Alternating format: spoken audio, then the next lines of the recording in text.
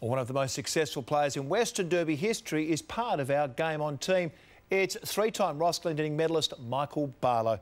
And he joins us now live. Michael, good evening to you. What is it about the Western Derby and Michael Barlow? Three medals in five years. It's amazing.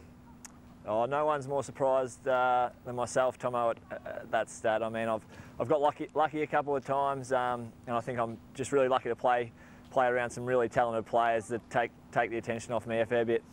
All right, Michael, your midfield, you, Nat Fyfe and David Mundy have a huge advantage in size over the Eagles. On average, eight centimetres taller, six kilograms heavier. Is there a risk of being top heavy in the middle?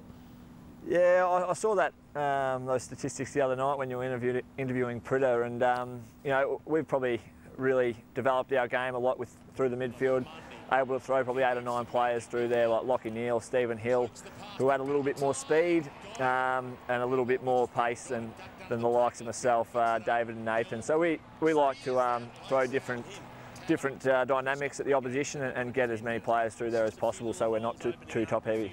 You mentioned there the strength of the midfield has taken the tagging pressure off Stephen Hill. How important is he to the Dockers? Oh, he's a super player. I mean, he, he played um, he, he started playing AFL football from the from the first possible chance when he was drafted, and, and he was basically tagged from his first first couple of games. So I think it's really important um, from our group's perspective that, that we're taking a little bit of pressure off him. Um, and also just giving, the, giving him the ball as much as possible because he's just a sublime user. Um, he put a, put a hole in my chest a couple of times on the weekend, so he's a fantastic bloke to play with and um, just highly skilled and highly talented, and, and no one at the club works as hard as Stephen A couple of quick ones. Incredible turnaround from Zac Clarke was running today at training. Will he play? I'd like to think so, yeah. So we've got training on uh, on Friday, our main training, and if he can get through that, um, he'll certainly play. So that, that's his test, and I think um, he's doing everything right at this stage to, to get the opportunity. Who gets the job of stopping Josh Kennedy? Yeah, 10 goals last week for Josh. So um, Luke McPharlin's been in the business for for half of his life and um, loves these big big challenges, big occasions, and, and at the moment in the AFL environment, there's no bigger challenge than Josh Kennedy. He's uh, in red hot form, so Luke will be looking forward to that one. And just before we go, you're regarded as a smart footballer.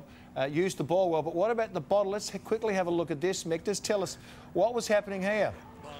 Oh, mate, I was, I was a bit stiff. I mean, I am, I, have got to set the record straight. I am a university graduate, um, you know, good private school boy, but I've, I've made a blue there, and uh, I think it's gone viral. So, um, you know, I'd like to like to go viral like Nathan Fyfe or Stephen Hill doing some of the stuff they do, but you know, I'm just a larrikin and uh, the knockabout bloke.